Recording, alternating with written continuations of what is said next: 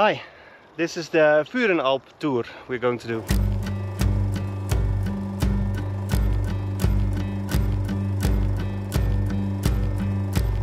We wanted to do the Surenen Pass, only there's too much snow for it to be uh, completely safe. So this is the alternative. It's the beginning of Pass, but you make a big turn back to Engelberg. Down to the elevator station. Yeah, we took the gondola up like uh, 800 meters and it's mostly downhill. Some hiking path and uh, the rest is uh, still a surprise for us. Yeah. But the view is quite different because you're surrounded by big mountains with a lot of waterfalls. Big adventure. Let's go.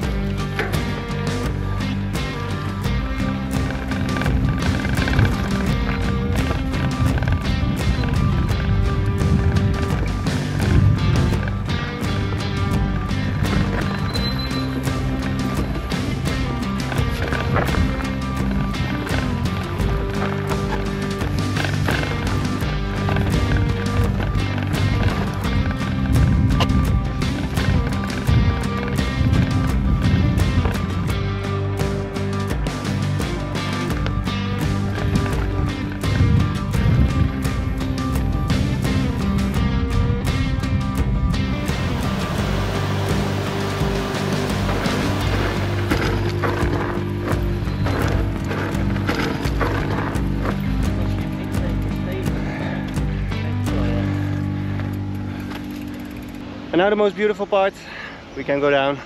Let's go.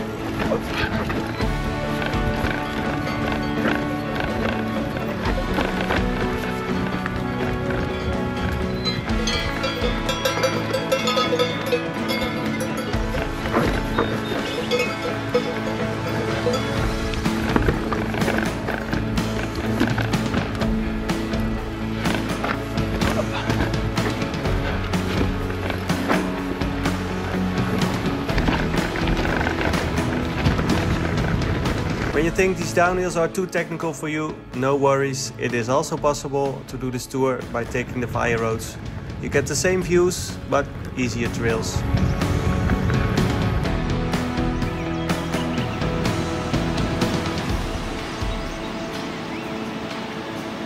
So, Jordi, what is with this fence? It's an electric fence, so I came with my arm and I hit the brake immediately. so exposed on this side, shock therapy on this side. yeah, stay focused.